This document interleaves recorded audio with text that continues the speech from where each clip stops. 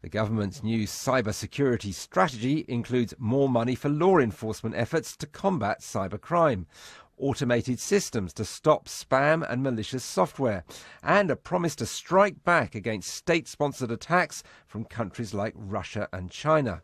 By having the ability to strike back in kind in cyberspace, to let the hackers and the attackers know that if they take down our networks, they risk having their networks taken down. We will make Britain safer and we'll make it an even more attractive place for people to do digital business.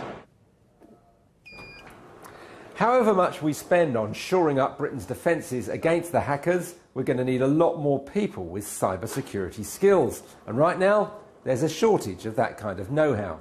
What we're basically looking at is we're looking for suspicious activity uh, from an IP address. At BT's headquarters, cybersecurity apprentices are hearing about the company's own security tools. The government wants more young people to see this as a valuable career. It's a different attack every day, a different threat every day, and it's just it's always keeping you on your toes and you're learning new things. Cybersecurity is an upcoming field. Uh, it's going to be very important, pretty much forever, as long as we use computers. From MI5, whose boss today accused Russia of mounting cyber attacks, to the police officers hunting for young hackers, to the police officers hunting for young hackers, to the police officers hunting for young hackers, to the police officers hunting for young hackers.